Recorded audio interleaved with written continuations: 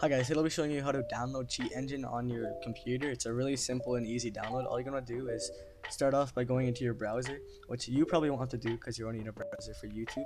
But once you are in your browser, all you're gonna want to do is search up Cheat Engine. Uh, but because I know you most of you guys are lazy, I'm just gonna put in a link in the description for you guys. It's literally just cheatengine.org. If you see any other GitHub or anything, do not get it off there. Just get it off of cheatengine.org. It's the most safe option.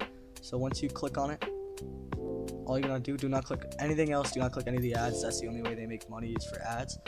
But just click download Cheat Engine. It's that simple. It'll be Cheat Engine 75, well 7.5, and it might already start downloading then. But as you can see, I already made a video on it, but I'm updating it.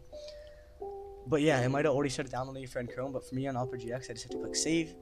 And as you can see on the top right or the bottom left or whatever, it's you'll see the download pop up. So don't worry about that. Once you see download complete, just click X. Should have been a pretty quick and easy download. Download. It's just a launcher. Go into File Explorer once you got it downloaded, which you can just go to search right down here, or or if you're on Windows 10, you can just click on the search over here. Just click search and then do File Explorer. Should be the first thing that pops up. Once you get File Explorer open, really simple and easy. Just go to Downloads. As I said, I already made a video on this. I'm just gonna delete that other file. Um, but yeah, as you can see, easiest thing ever. Cheat engines right here. What I'm gonna do, I'm just gonna quickly pull this out to my my desktop like that. I'm just gonna double click on it, and as you can see, it'll start loading. So it might take a minute to load, but once it does, it'll say you want to allow this app to make changes to your device. Just click yes. It's and then click OK.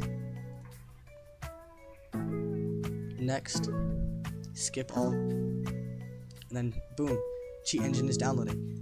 Sometimes it'll say this is like a virus or something. It's not a virus. It's legit itchy, and The only reason why I would ever say it's virus is because it's injecting itself into a different game. So like I'm injecting a hack into a game, so that's why. Now, once you're done, all you have to do is click finish and click no, I don't need do not want a tutorial, just go to my next video. It's like a four minute video of me just showing you how to hack a game. For me it'll be Balloon, Bloons TD6, so if you ever want to hack Bloons TD6, watch the next video. I do not want a tutorial. And click X, and boom, you have Cheat Engine open.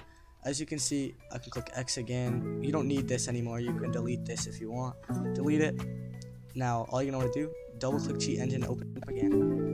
Do you want to allow this to make changes to your device? Yes. And then boom, you have Cheat Engine open left.